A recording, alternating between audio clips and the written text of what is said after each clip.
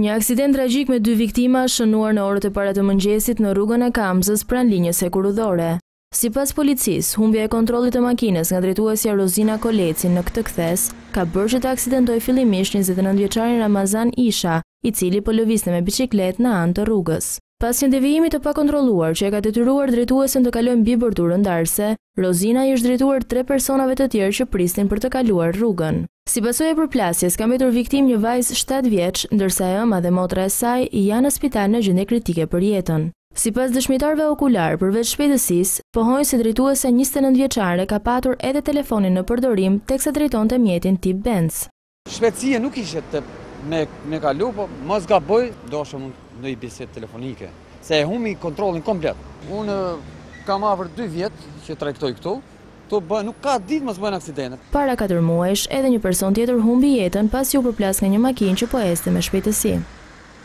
Siç mund ta shihni edhe në pamje, të kalosh rrugën në këtë segment është thuajse një sfidë më vete. Mungesa e vijave të bardha dhe semaforëve të cilët janë hequr para disa muajsh, i detyron kalimtarët të shpejtojnë hapin sapo gjejnë rrugën bosh. Ne duhet mbikalimi me patjetër, se kjo është rrugë që po kalojnë mbikalime, ose dhe vijat e bardha, që të ndërgjegjësohen dhe vetë shoferët kur kalojnë. Tu s'ka as sinjalistikë, tu s'ka as semafor, tu nuk ka asnjë gjo, tu është fare, as pas vija të bardha, asnjë gjo. Madje, edhe në stacionin e autobuzit, nuk arrin të gjesh vija të bardha.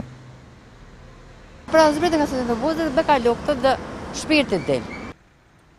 Gjatë një vëzhgimi që pas vendit të njohur si Kthesa e Kamzës, deri pranë Universitetit Bujqësor, ku bëhet edhe ndarja mes dy bashkive, nuk gjen asnjë hapësirë të dedikuar për kalimtarët. Kujtojmë se kjo është një nga rrugët më të ngarkuara të lëvizjes, si për makinat edhe për kalimtarët, të cilët janë të detyruar të zbatojnë rregullat e tyre personale kur bëhet fjalë për të kaluar rrugën.